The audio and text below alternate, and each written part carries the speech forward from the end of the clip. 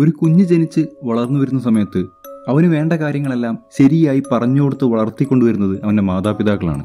പക്ഷെ പറഞ്ഞു കൊടുക്കുന്നതെല്ലാം തല തിരിച്ചാണെങ്കിലോ? അപ്പോൾ വളർന്നു വരുന്ന കുഞ്ഞിന്റെ അല്ലെങ്കിൽ ആ കുട്ടികളുടെ ചിന്തകളും ജീവിതത്തെക്കുറിച്ചുള്ള കാഴ്ചപ്പാടും ഒക്കെ എങ്ങനെയായിരിക്കും? അത്തരത്തിലുള്ള ഒരു വിചിത്രമായ കുടുംബത്തെയാണ് ഇന്ന് നമ്മൾ പരിചയപ്പെടാൻ പോകുന്നത്. വ്യത്യസ്തത ആഗ്രഹിക്കുന്നവർക്ക് മാത്രം ഇഷ്ടപ്പെടാൻ സാധ്യതയുള്ള ഒരു സിനിമയാണിത്. സമീപകാലത്തായി വളരെയധികം ചർച്ച ചെയ്യപ്പെട്ട പ്ലാറ്റ്ഫോം എന്ന സ്പാനിഷ് ചിത്രം പോലെ തന്നെ പരോക്ഷമായി കഥ പറയുന്ന രീതിയാണ് ഈ സിനിമയുടേത്. രണ്ടായിരത്തി ഒൻപതിൽ പുറത്തിറങ്ങിയ ഡ്രാമ ജോണറിൽപ്പെട്ട ഡോഗ് ടൂത്ത് എന്ന ഗ്രീക്ക് ചിത്രമാണ് ഇന്ന് നമ്മൾ എക്സ്പ്ലെയിൻ ചെയ്യാൻ പോകുന്നത്.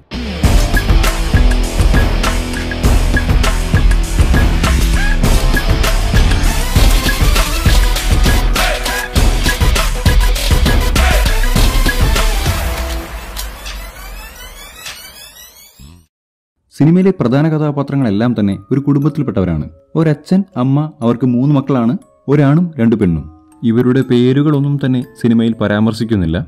മറ്റുള്ളവരിൽ നിന്നെല്ലാം വ്യത്യസ്തമായ വളരെ വിചിത്രമായ രീതികളും സംസ്കാരവുമാണ് ഈ കുടുംബത്തിന്റെത്. അതെന്തൊക്കെയാണെന്ന് നോക്കാം. ഒന്നാമതായി ഈ വീട്ടിൽ നിന്നും പുറത്തേക്ക് പോകുന്ന ഒരേ ഒരാൾ ഗൃഹനാഥൻ മാത്രമാണ്. മറ്റാർക്കും തന്നെ ഇതിന് അനുവാദമില്ല. പുറത്തുനിന്ന് ഒരാളെയും ഇവർ വീട്ടിലേക്ക് ക്ഷണിക്കാറുമില്ല ഒരാളൊഴിച്ച്. ഈ അച്ഛൻ കഥാപാത്രത്തിന്റെ ഫാക്ടറിയിലുള്ള ഒരു സെക്യൂരിറ്റി ലേഡി ക്രിസ്റ്റീന എന്നാണ് അവരുടെ പേര്. അവരെ വീട്ടിലേക്ക് കൊണ്ടുവരുന്നതിന്റെ ഉദ്ദേശം എന്താണെന്ന് പിന്നീട് പറയാം. ഈ വീട്ടിലെ കുട്ടികൾ ടെലിഫോണിനെ ഉപ്പ് എന്നാണ് വിളിക്കുന്നത്. അതേപോലെ ഉപ്പിനെ ടെലിഫോൺ എന്നും പൂച്ചയെ പുലി എന്നും നായയെ പൂച്ച എന്നുമാണ് ഇവർ വിളിക്കുന്നത്. ഇത് മാത്രമല്ല ഇത്തരത്തിലുള്ള ഒരുപാട് കാര്യങ്ങൾ തലതിരിച്ചാണ് ഇവർക്ക് പഠിപ്പിച്ചു കൊടുത്തിട്ടുള്ളത്.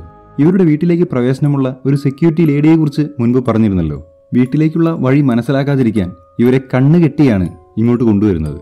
കൊണ്ടുവരുന്നതിന്റെ പ്രധാന ഉദ്ദേശം മകന്റെ ലൈംഗിക ആവശ്യം നിറവേറ്റുക എന്നതാണ്. ഇവനാണെങ്കിൽ പുറം ലോകമായി വലിയ ബന്ധമൊന്നുമില്ലാത്തതുകൊണ്ട് ഇതിനെക്കുറിച്ചൊന്നും ഒരു ചുക്കും അറിഞ്ഞുകൂടാ. സത്യത്തിൽ ഒരു ട്യൂട്ടറുടെ റോളാണ് ഈ സ്ത്രീക്ക് ഈ വീട്ടിലുള്ളത്. ഇവിടെയുള്ള ഓരോ കുട്ടികൾക്കും ഇവർ ഓരോ ടാസ്ക് കൊടുക്കും. ഈ ടാസ്കിന്റെ അടിസ്ഥാനത്തിൽ പോയിന്റ് ലഭിക്കും. ഈ പോയിന്റ് ഏറ്റവും കൂടുതൽ നേടുന്ന ആളാണ് വിജയ്. ഈ സ്ത്രീ പോകുന്നതിന് മുൻപായിട്ട് ഇവരെ തന്റെ മറ്റു മക്കളോടൊപ്പം ചേർത്ത് നിർത്തി ഫോട്ടോ എടുക്കുന്നുണ്ട് നമ്മുടെ ഗൃഹനാഥൻ. അതിനുശേഷം അവർക്ക് പണം കൊടുത്ത് പറഞ്ഞയക്കുകയാണ്. കൊണ്ടുവന്നത് പോലെ തന്നെ കണ്ണുകെട്ടിയാണ് തിരിച്ചു പറഞ്ഞയക്കുന്നത്. നമ്മളാരും എന്തായാലും കയറി ട്രൈ നോക്കാം. അതിനുശേഷമുള്ള ഒരു രംഗത്തിൽ പുറത്തേക്ക് പോകാൻ എന്ന പോലെ ഈ കുട്ടികളെല്ലാം വളരെ വൃത്തിയായി അണിഞ്ഞൊരുങ്ങുന്നത് കാണാം. എന്നാൽ ഇത് ഭക്ഷണം കഴിക്കാൻ വേണ്ടി മാത്രമാണ്. ഭക്ഷണം കഴിക്കുമ്പോൾ വൃത്തിയായി വസ്ത്രധാരണം ചെയ്യണമെന്നാണ് ഈ മാതാപിതാക്കൾ കുട്ടികൾക്ക് പഠിപ്പിച്ചു കൊടുത്തിരിക്കുന്നത്. ഭക്ഷണം കഴിച്ചുകൊണ്ടിരിക്കുന്ന സമയത്ത് ഈ ആഴ്ചയിലെ വിജയ് തന്റെ മകനാണെന്നും മകന്റെ ആഗ്രഹം എന്താണെന്നും ഈ അച്ഛൻ ചോദിക്കുന്നുണ്ട്. ഇതിന് മറുപടിയായി മകൻ പറയുന്നത് എനിക്കൊരു വീഡിയോ കാണണം എന്നാണ്. വീഡിയോ എന്ന് പറയുമ്പോൾ നമ്മളവിടെ പ്രതീക്ഷിക്കുന്നത് ഏതെങ്കിലും ഒരു ഫൺ ഫിൽഡ് എന്റർടൈൻമെന്റ് സിനിമയായിരിക്കും. പക്ഷേ ഇവർ ടി വിയിൽ ഇടുന്നത് ഇവർ തന്നെ ഷൂട്ട് ചെയ്ത ഇവരുടെ ഹോം വീഡിയോസ് ആണ്. എന്നിട്ട് ഇവരെല്ലാവരും കൂടി ചേർന്നിരുന്ന് ഇത് കാണും. പുറം ലോകത്ത് സിനിമ എന്ന് പറയുന്ന ഒരു മനോഹര സൃഷ്ടിയുണ്ടെന്നും പാട്ടുകൾ ഉണ്ടെന്നും ഈ കുട്ടികൾക്ക് അറിഞ്ഞൂടാ. എന്തിനധികം? പുറം ലോകത്തെക്കുറിച്ച് തന്നെ വളരെ പരിമിതമായ അറിവുകൾ മാത്രമേ ഈ കുട്ടികൾക്കുള്ളൂ. അതെല്ലാം തന്നെ തെറ്റിദ്ധാരണയുമാണ്. മാത്രമല്ല വീടിനുള്ളിൽ മാത്രമേ ഇവർ സുരക്ഷിതരായിരിക്കൂ എന്നും വീടിന് പുറത്തിറങ്ങിയാൽ ഇവർക്ക് വലിയ അപകടം നേരിടുമെന്നൊക്കെ ഈ അച്ഛനും അമ്മയും കൂടി ഈ കുട്ടികളെ പറഞ്ഞ് തെറ്റിദ്ധരിപ്പിച്ചു വെച്ചിട്ടുണ്ട്. ഒരു പ്രത്യേക പ്രായമായതിനു ശേഷം മാത്രമേ നിങ്ങൾക്ക് പുറത്തേക്ക് പോകാൻ സാധിക്കൂ എന്നും ആ പ്രായം എപ്പോഴാണെന്ന് വെച്ചാൽ നിങ്ങളുടെ ഡോഗ് ടൂത്ത് അതായത് മനുഷ്യന്റെ കോമ്പല്ല് എന്ന് പറയും. അത് ഉതിർന്ന് താഴെ വീഴുന്ന സമയത്താണ് നിങ്ങൾക്ക് ഈ പ്രായമാവുന്നത്. അപ്പോഴാണ് നിങ്ങൾക്ക് വീടിന് പുറത്തിറങ്ങാൻ പറ്റുന്നത് എന്നാണ് ഇവരെ പറഞ്ഞ് ധരിപ്പിച്ചു വെച്ചിരിക്കുന്നത്. ഇവർക്കൊരു ചേട്ടനുണ്ടെന്നും ഇദ്ദേഹത്തിന്റെ ഡോഗ് ടൂത്ത് താഴെ വീണ ശേഷമാണ് ഇദ്ദേഹം പുറത്തു പോയതെന്നും പുറത്തേക്ക് ഇറങ്ങിക്കഴിഞ്ഞാൽ ചേട്ടൻ നിങ്ങളെ കൊല്ലുമെന്നുമാണ് മാതാപിതാക്കൾ കുട്ടികൾക്ക് പറഞ്ഞു കൊടുക്കുന്നത്. അതുകൊണ്ട് തന്നെ ആ മതിലിന് പുറത്ത് താങ്കളെ കൊല്ലാൻ തയ്യാറായി നിൽക്കുന്ന ഒരുപാട് ഭീകരജീവികളും ഒപ്പം സ്വന്തം ചേട്ടനും ഉണ്ടെന്നാണ് ഈ കുട്ടികളുടെ വിശ്വാസം. ഒരു ദിവസം ഈ ആൺകുട്ടി ഒരു കല്ലെടുത്ത് മതിലിന് പുറത്തേക്ക് എറിയും. തന്റെ ചേട്ടൻ അവിടെ നിൽക്കുന്നുണ്ടെങ്കിൽ ഈ ഏറുകൊണ്ട് അദ്ദേഹം ഓടിപ്പോകാൻ വേണ്ടിയാണ് ഈ കുട്ടി ഇങ്ങനെ ചെയ്യുന്നത്. പക്ഷെ ഇതെല്ലാം തന്നെ ഇവന്റെ മാതാപിതാക്കൾ മുകളിലത്തെ നിലയിൽ നിന്ന് കാണുന്നുണ്ടായിരുന്നു. എത്രയൊക്കെ പറഞ്ഞാലും അത് നിന്റെ ചേട്ടനാണ്. നീ ഇങ്ങനെയൊന്നും ഒരിക്കലും ചെയ്യരുത്. ഈ ചെയ്ത തെറ്റിന് നിനക്ക് ശിക്ഷയുണ്ട് എന്ന് പറഞ്ഞ് ഇവർ ഇവനൊരു ശിക്ഷ കൊടുക്കും. ശിക്ഷ എന്താണെന്ന് കേൾക്കണോ. മൗത്ത് ക്ലീനർ വായിലേക്ക് ഒഴിച്ച് വായ നീറുന്നത് വരെ പിടിച്ചിരിക്കണം. മാതാപിതാക്കൾ കൊടുക്കുന്ന ശിക്ഷ ഇവൻ ഏറ്റുവാങ്ങുന്നു. വായിലേക്ക് ഇവൻ മൗത്ത് ക്ലീനർ ഒഴിക്കും. കുറച്ചു നേരം പിടിച്ചിരുന്ന് വായിൽ തൊലിയൊക്കെ പോയി തുടങ്ങുമ്പോൾ ഇവൻ അത് തുപ്പിക്കളയും. പിറ്റേ ദിവസം പതിവ് പോലെ അച്ഛൻ കാറെടുത്ത് ജോലിസ്ഥലത്തേക്ക് പോകും. ഇതേസമയം കുട്ടികൾ വീടിന്റെ കോമ്പൗണ്ടിൽ കളിച്ചുകൊണ്ടിരിക്കുകയായിരിക്കും. ഇവർ ആകാശത്തുകൂടി ഒരു വിമാനം പോകുന്നത് കാണും. ആ സമയം ഈ മൂത്ത പെൺകുട്ടി തന്റെ സഹോദരങ്ങളോടായി പറയും ഈ വിമാനം താഴേക്ക് വന്നു കഴിഞ്ഞാൽ ഞാൻ അതിൽ കയറി പുറത്തേക്ക് പോയേനെ എന്ന്. ഇത് കേട്ടയുടനെ ഈ പെൺകുട്ടിയുടെ അമ്മ പെൺകുട്ടിയുടെ മുഖത്തടിക്കും. എന്നിട്ട് ചോദിക്കും നീ ഇവിടെ നിന്ന് പുറത്തേക്ക് പോകുമോ? നിന്റെ ഡോഗ് ടൂത്ത് താഴെ വീണാലല്ലേ നിനക്ക് പുറത്തേക്ക് പോകാൻ സാധിക്കൂ? അതല്ലാതെ പുറത്തേക്ക് പോയാൽ നിനക്ക് തന്നെയാണ് അപകടം എന്നൊക്കെ പറഞ്ഞ് ഈ അമ്മ മകളെ ശകാരിക്കുന്നുണ്ട്.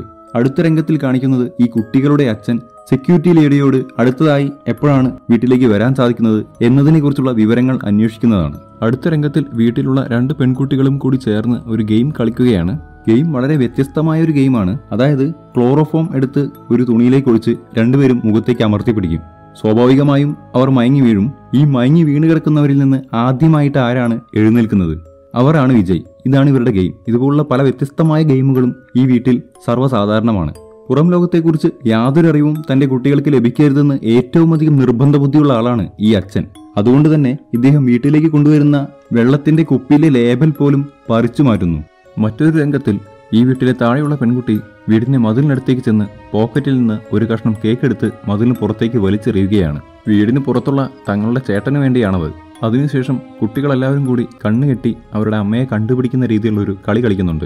ഓരോ ദിവസവും ഇത്തരത്തിലുള്ള ഓരോ കളികളാണ് ഈ വീട്ടിൽ. അങ്ങനെ ഒരു ദിവസം ക്രിസ്റ്റീന വീണ്ടും ഈ വീട്ടിലേക്ക് വരുന്നു. ഇത്തവണ ക്രിസ്റ്റീന വീട്ടിലുള്ള ആൺകുട്ടിയെ രതി വൈകൃതത്തിന് നിർബന്ധിക്കുന്നു. അതിന് സമ്മതിച്ചു കഴിഞ്ഞാൽ നിനക്ക് പോയിന്റ്സ് കൂടുതൽ തരാമെന്നാണ് ക്രിസ്റ്റീനയുടെ വാഗ്ദാനം. പക്ഷേ ഈ ആൺകുട്ടി ഇതിന് സമ്മതിക്കുന്നില്ല. അപ്പോൾ ക്രിസ്റ്റീന ഇതേ ആവശ്യവുമായി മൂത്ത പെൺകുട്ടിയെ സമീപിക്കുന്നു.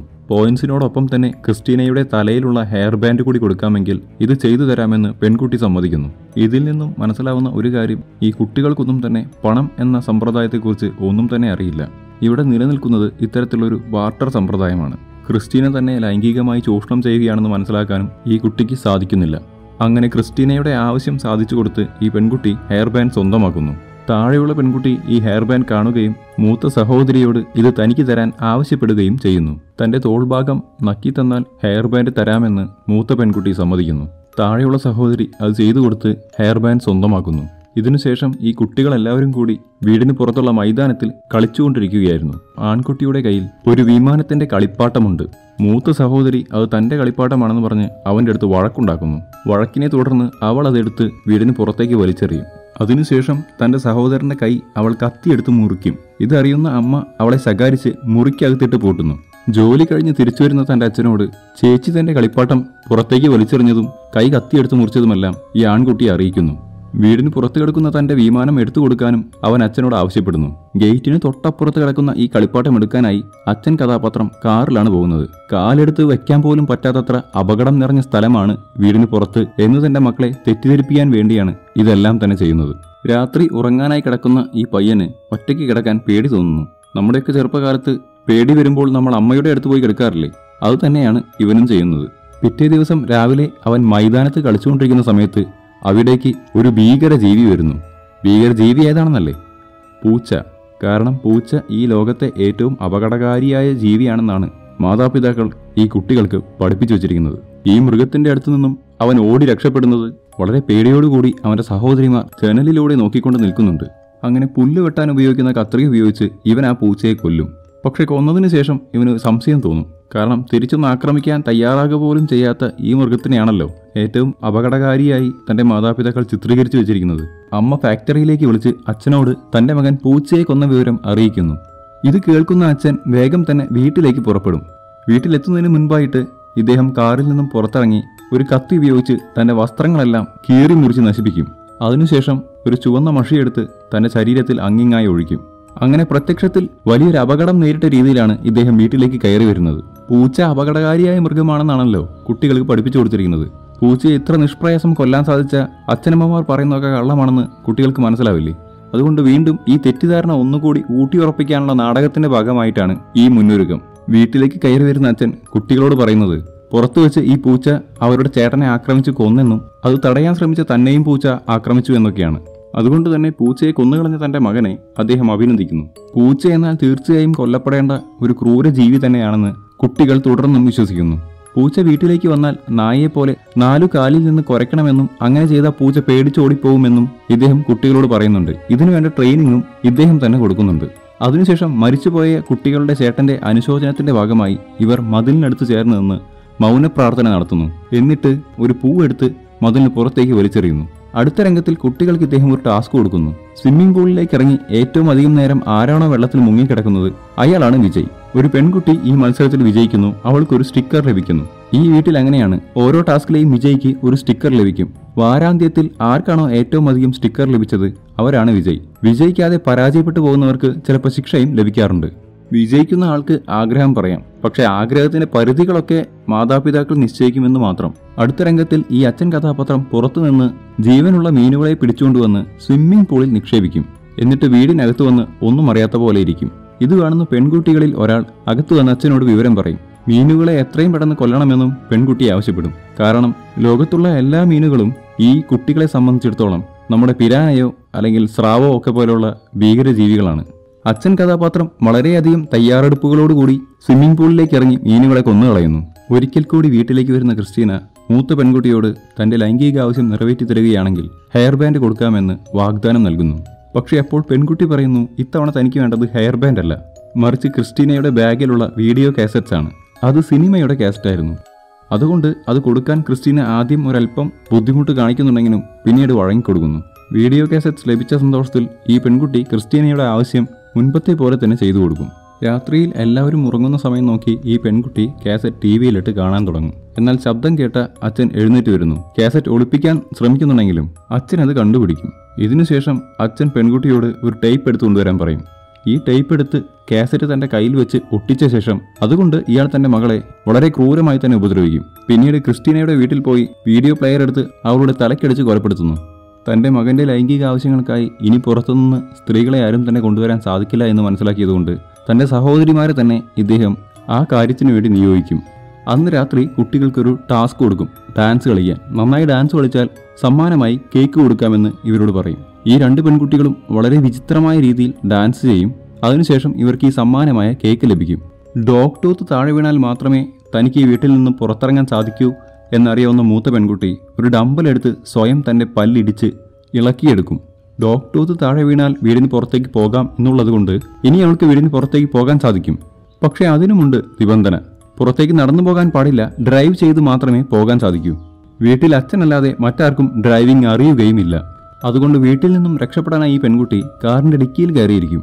രാവിലെ എഴുന്നേൽക്കുന്ന അച്ഛൻ പല്ലു തേക്കാനായി സിങ്കിനടുത്തേക്ക് പോകുമ്പോൾ അവിടെ രക്തവും പല്ലുകളും കാണും.